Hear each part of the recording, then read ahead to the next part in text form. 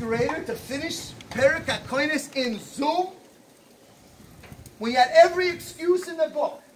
Every one of you, I can tell you now because it's over. Is it over? It's almost over. It's good enough. Rashid, I'm jealous that you have a yeshiva like this. And I brought it to you. Hire a buffer. Take this feeling. Never, ever forget it.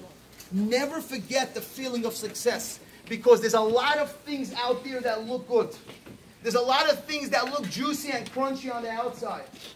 And when you finish eating it, you-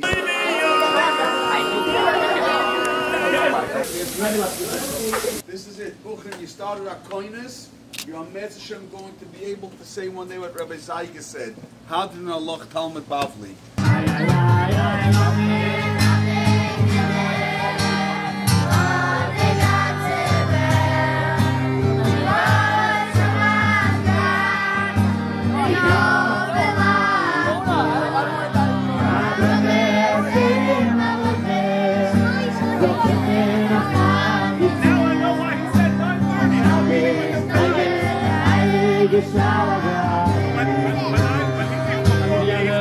There is no way in the world any of you can appreciate the amount of work and koiches that your Rebbe puts in. I don't blame you because you've never been there.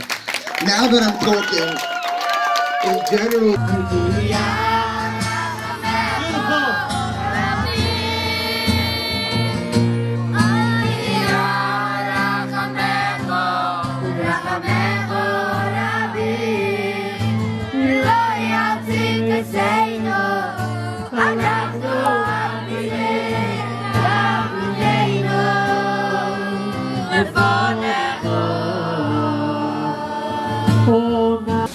Robert Walton Sita, Manal Sita, Merchant Shiva Sita, my grandfather, and my parents. I would like to thank everyone for coming and allowing me and my family to host the Siyum on parents. I'd like to thank my parents for making this whole happen. Most importantly, I'd like to thank Rabbi Walton for being a great Rebbe in class and on Zoom, for giving, up, and for giving us the proper push to Chazar and to know the Parak as well as we do.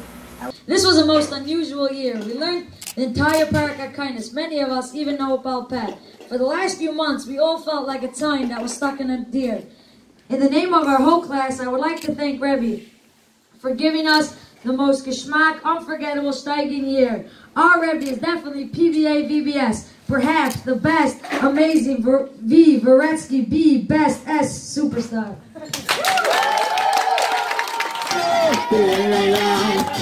Thank you, Hashem. Thank you. One more time. Thank you, Hashem. Thank you, Hashem. I'm doing. Thank you, Hashem. Thank